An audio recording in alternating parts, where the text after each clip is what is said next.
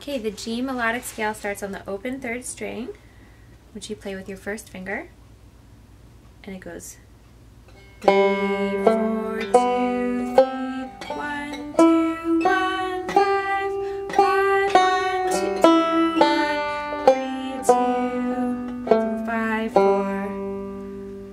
So third string, fourth